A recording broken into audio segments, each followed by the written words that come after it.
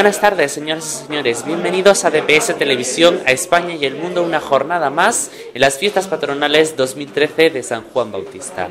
Hoy estamos aquí de nuevo en la Casa Luján porque, como les decía ayer, abrimos la gran mesa de debate con Pedro Luis Pérez de Paz, que es catedrático de botánica y biólogo por la Universidad de La Laguna. Con él hablaremos de muchas cosas, sobre todo de la economía española, de cómo se sitúa y eso, todo ello en relación con la agricultura, la ganadería, la pesca y todo todas las, las proporciones que abarcan el sector primario. Luego haremos la entrevista, estaremos con él durante el programa y, como no, le daremos pues su la tarjeta de DPS Televisión correspondiente para que nos recuerde para siempre. Bueno, pues cuando ahora mismo está a punto de empezar, esta conferencia, así que cuando ustedes quieran, comenzamos. Así que les dejo ya porque no podemos entretenerlos mucho.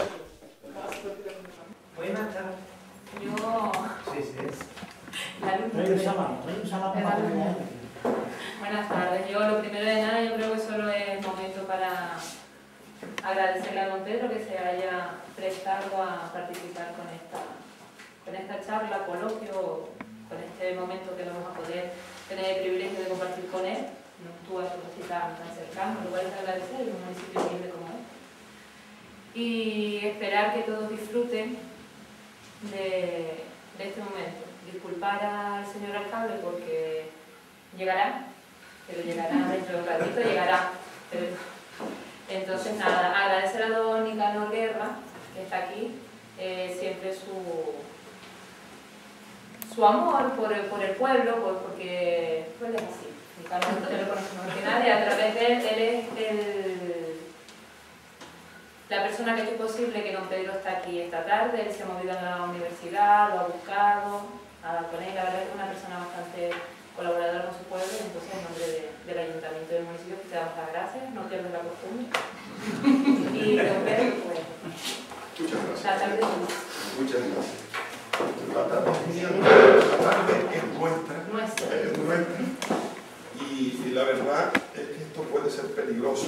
Lo primero que voy a hacer, voy a poner el reloj delante, porque yo le dije a Roberto y a Nicanor, mira, podemos estar hablando desde 10 minutos, un cuarto de hora, media hora, una hora, y ya más no, más no, porque empezarán ustedes a sentirse incómodos en los asientos todos a removerse.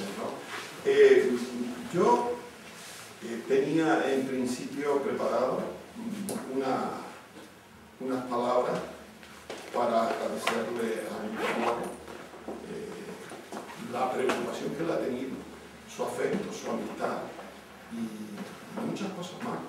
Él me dijo, el otro día nos encontramos en Corpus, cuando Moretti acaba de decir que es un municipio humilde, es un municipio humilde y, es lo pequeño estamos grande. Y se puede ser pequeño, y esto está lleno de historias, y realmente, eh, bueno, pues el ver la enciclopedia Álvarez del segundo grado, el primero, segundo y tercer grado, yo lo estaba mirando, y, estoy reviviendo los porque con esa enciclopedia yo unos cuantos parecidos, y como derive en mi intervención hacia los recuerdos, eh, pues es posible que no, no hablemos nada eh, del medio ambiente, tampoco, tampoco pasaría nada.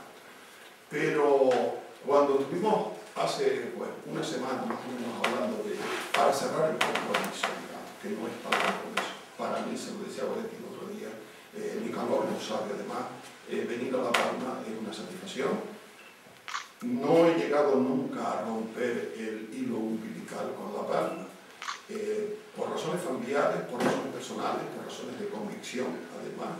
Yo por una u otra razón raro en mes que no vengo a La Palma. Nicanor me decía el otro día, no, yo siempre recuerdo una charla que tuviste que, que rememoraste eh, el que cuando llegabas al aeropuerto y mirabas eh, la montaña de la Breña, la montaña de las Tocas, el Roque Piomo, en fin, te, emocionaba. Eh, sigue siendo así. Eh, no consigo bajarme del avión y subirme en el avión sin dar un pasazo.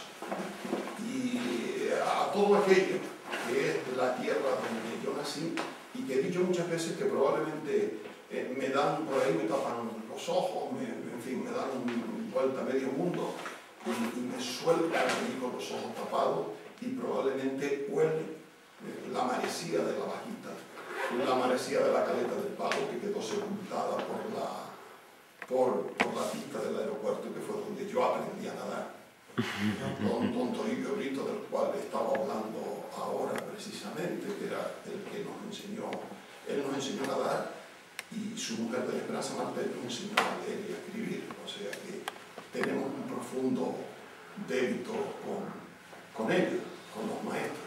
La figura de los maestros eh, en general merecen todo el reconocimiento del mundo. Y gobernar significa priorizar y tomar decisiones.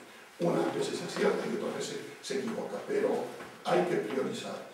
Y recuerdo que en uno de esos cursos que fue donde yo conocí a ¿no? Fue la primera vez, él seguramente no se acuerda de eso. Pero yo me acuerdo que estuvo por ahí en un curso. Y bueno, eh, intervino en un par de ocasiones. Yo estaba de director del curso, por lo tanto, presentaba a, los distintos conferenciantes, pero además di una charla. Y en una charla pues hablé eh, pues, de aspectos ambientales también y de las plataneras y del papel de, de la platanera y de la agricultura en, esta comarca en la que estamos. Eh, y, bueno, él me hizo unas observaciones muy interesantes y yo desde el primer momento me dije, digo, bueno, este sabe, este sabe.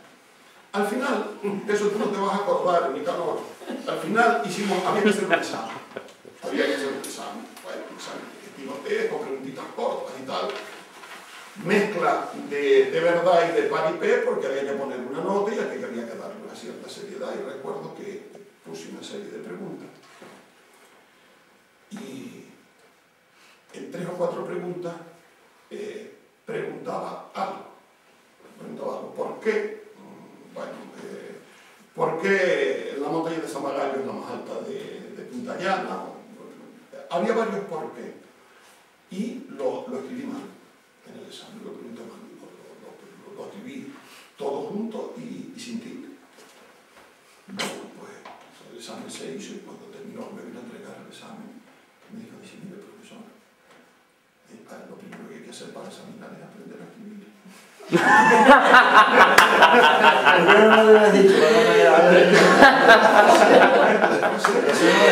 no Ay, cielos. separado y con tilde. Pero bueno. La versión de los cuatro por qué, que los tenía por aquí anotados. Como voy a anotarlos, no sé que ni Carlos me vuelva a plantear estos por qué. Pero se me quedó grabado. Me puse colorado y le dije, Hombre. Eh, ya, digo, ahora vamos a hablar. Eh, cuando termine el examen, espere fuerte, vamos a hablar. Y estuvimos hablando un rato porque me di cuenta que era una persona era una persona interesante y culta. culta.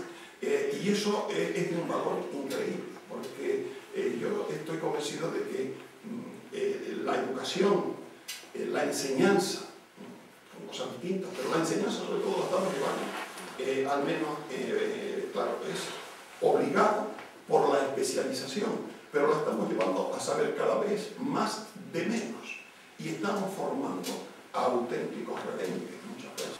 Yo, eh, una vez que terminé de hablar con, con Moretti y con Nicanor, entré, que es una de las vías que tengo para mantenerme informado, a lo mejor parcialmente informado, pero entro raro es el día que yo no entro en el Apurón, que es un periódico digital y que a mí me sirve pues, para enterarme de, las cosas que suceden aquí en La Palma, eh, bueno, tiene la visión que tiene todo, todo medio informativo, pero entro y encima escribo con, con, con relativa frecuencia, escribo comentarios. Escribí, por cierto, uno sobre las fiestas de, San Juan. Esta mañana solamente estaba mi comentario. Solamente eh, evidentemente eh, lo escribí mm, normalmente en apoyo, como escribí otro día sobre San Antonio del Monte, o escribo sobre el cuerpo, sobre el cuerpo humano. Eh, procuro, estimular la participación. A veces me llevo algún tirón de oreja, nunca llueve todo de todos, evidentemente, pero el hecho de que esté conectado y casi dependiente del apurón Bueno, pues desde hace 15 días eh, por allí aparece nada más abrir la puronga, aparece el programa en primera página de, de la fiesta de San Juan. Además, cuando uno pasea el ratón por la pantalla, pues bueno, tiene programa, pica allí y salta el programa. Y bueno, ya sabe que está en el PDF, imprimí, imprimí las palabras tanto del alcalde como del párroco. Eh, bien, veo que aquí eh, en San Juan de Punta Llana todo gira en torno a porque es a, la fuente, fuente de vida para la humanidad, dice el señor alcalde, y fuente de vida ¿eh? y fuente de fe, dice el Papa, que me tuve que ir a la bibliografía y al diccionario y a la amistad de una persona enterada de estas cosas para saber lo que era PBRO. Lo que pone Julián Andrés Ascara de Acosta, coma, PBRO. Y me quedé, porque luego ponía cura párroco. Y me, eso me hizo pensar, digo, ¿qué será esto? Esta mañana llamo a, a Octavio Rodríguez Delgado, cronista de, de Candelaria, la Villa Mariana, que es compañero de, departamento y cronista, además también de la, de, la Villa de Weimar, y me dijo presbítero. Presbítero. Presbítero, sí, es verdad. Presbítero, exactamente. Dice presbítero que es lo mismo que sacerdote. Dice presbítero es sacerdote.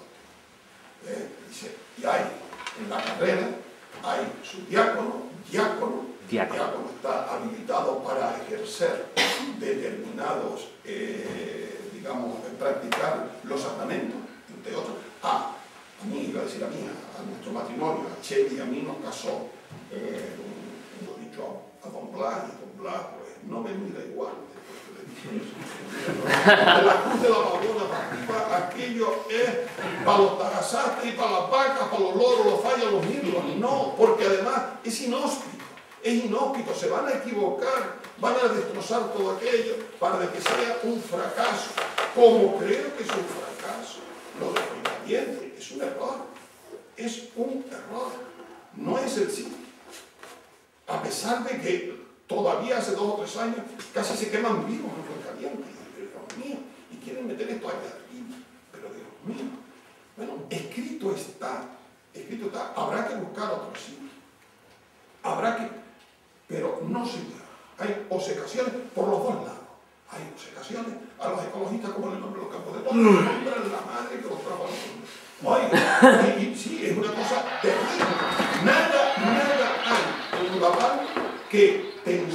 tanto eh, la sociedad, al menos aparentemente, al menos a nivel de comentarios en los logros de claro, oiga, como los campos de poder. Y yo digo, y no se ha hecho ninguno, no se ha ahogado no, no se ha ahogado una piedra. Y, estamos ahí con esos follones. Eso es La Palma. Eso es La Palma. En fin, que yo creo que la comarca es posible, que hay que ir por ahí, que hay que sumar. Y yo ya me callo y no le digo. Hemos estado, bueno, he estado una hora y 25 minutos hablando. Le dije que yo me apasionaba con estas cosas, pero realmente ustedes han sido sumamente, eh, digamos, correctos, oiga, y pacientes escuchando a pesar de estar sentado en los bancos, porque yo tengo un jovencito de El bueno, gracias. Gracias.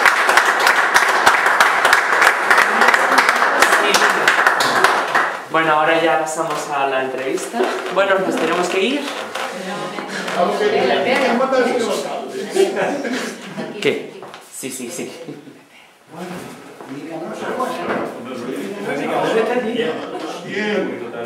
No, pero sí lo sé, lo sé, ya no es que eso decía por el otro día, eso decía Nicanor, yo sé que, eh, que están con 20 cosas. Si estuve la oportunidad de la fiesta de cuerpo, yo sé cómo son estas cosas. Yo he encantado. Pues nada, pues muchas gracias por, por, por esta charla en el eh, bueno, en, lo que es un entorno yo creo que maravilloso, ya disfrutábamos con la de Doña Lala sobre, sobre la escuela de hace un tiempo, en este marco creo que incorporar de la, de la Casa Luján en sí y en particular de, de, de, esta escuela que el colectivo Rayas ha, bueno, eh, ha puesto aquí. Y, nada, esta charla marcada de todas las fiestas de San Juan 2013, mm, agradecer a, a don Pedro Luis Pérez Paz esa, esa charla, esa bueno, ética ha estado con este tema, don Nicanor, que, que también está... Así como me gusta. Don Nicanor, ¿sabes? Podemos llegar, ¿no? Y, y, bueno, y en nombre del, del Ayuntamiento de Punta Llana, pues, pequeño detalle, obsequio, de, de, bueno, un artesano de, de aquí, de, de, nuestro, de nuestro municipio, David Cesario, que el hombre pues hace bolígrafos con distintos, siete de madrón, en distintas maderas. La verdad es que bueno, yo creo que es un regalo bonito a la gente así que nos, que nos visita. Eh, un regalo bonito de algo hecho aquí en el municipio por un artesano de nuestro municipio de Tucaya. Una vez más, pues ese, ese agradecimiento y hasta la próxima.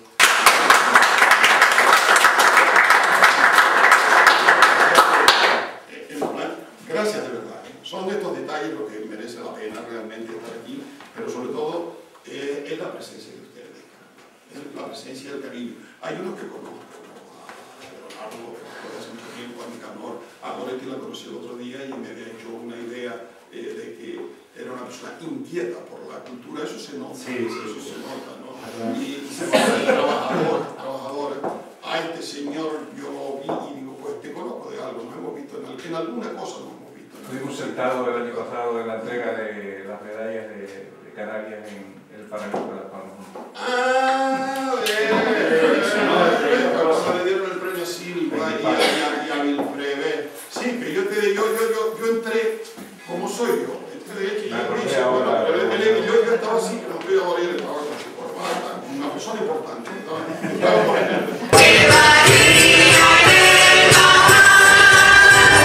Bueno, pues ya lo estáis viendo, es un honor para mí presentar a don Pedro Luis Pérez de Paz, catedrático en la Universidad de La Laguna, concretamente de Botánica. Muy buenas noches. Buenas noches.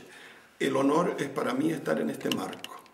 Y lo digo eh, casi emocionado con ese mapa de España, con las antiguas regiones eh, y provincias, en estos bancos, en esta mesa con la enciclopedia Álvarez sobre la misma, en esa silla donde estuvieron sentados los maestros que me precedieron y que tanto me enseñaron. hice un canto, hice un canto y lo reitero ahora aquí en estas imágenes, a la figura del maestro. Eh, resalté lo que es la vida rural, lo que es la solidaridad, el trabajo en el campo. Eh, hice un esfuerzo eh, por superar el marco del municipio y enmarcarlo en la comarca que hemos llamado del nordeste insular, en el que se compromete territorio de los municipios de Barlovento, Los Sauces y por supuesto Punta Llana.